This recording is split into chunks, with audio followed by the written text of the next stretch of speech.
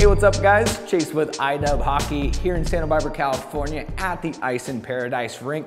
About to give you your view on the Bauer 2S Pro Skate. Now, start with the upgrades, go over carryover features, and I'll give you my thoughts along the way. The first one's in the boot with their new carbon Curv. Different from the composite we've seen in Bauer skates for quite some time now that was very successful on its own. This is actually lighter as well as more thermoformable, so giving you a better wrap when you do go ahead and bake these. Highly suggest that you do. Continue with carbon. We got the new Tuuk LS5 carbon steel. It has a carbon nitrate coating that significantly improves your edge bite as well as your edge strength.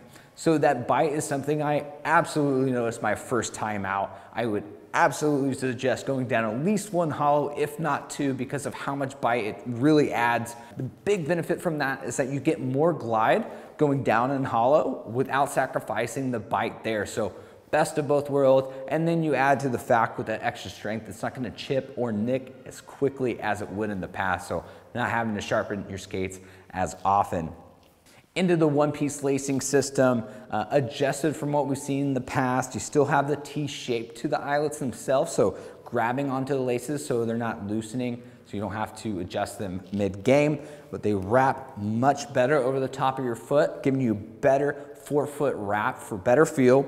As you get up into the upper portion, does straighten out, so that gives you better forward flex, which works with that tongue.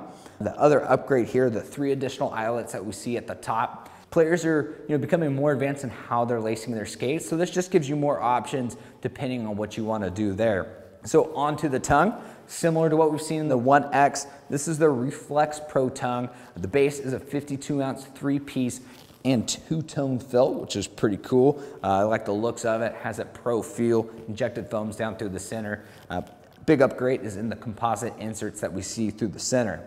Uh, these are significantly more protective than a plastic or even the curve that we've seen Bauer use in their tongue. So better protection for the top of the foot, which is what players always are looking for. Also heat molds to the top of your foot. So when you go ahead and throw these in the oven, also getting a nice custom form fit to the top of the foot.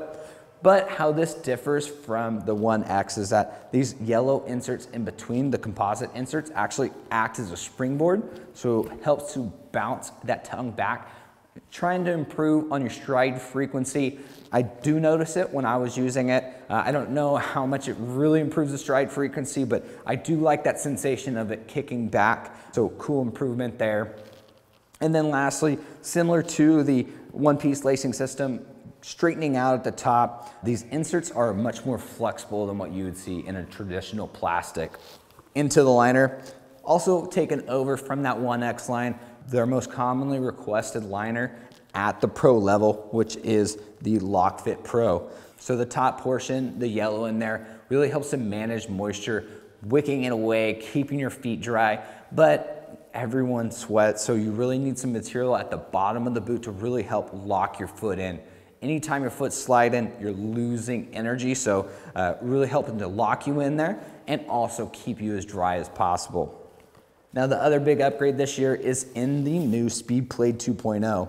Biggest upgrade I would say is in the durability. I went ahead and re-engineered the materials, so addressed the issue that some players were having that it was cracking over time. The thing that I noticed the most about it was the extra foam on the top my only gripe about that original version was that it was a little uncomfortable. I reverted back to a more traditional, softer, thicker footbed. But with this, this is a big improvement. Uh, and this is my go-to, even though this one's the brand new unbaked version.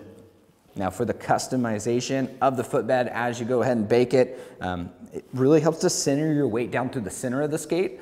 So instead of it being uneven or unbalanced, really helps to drive all the power through the middle, which is right over the top of your holder, so you're getting much more efficient energy transfer. You get a custom arch support, and then of course you do have a custom heel cup there too. Upgraded with some extra grip this year, grip texture on the toes here.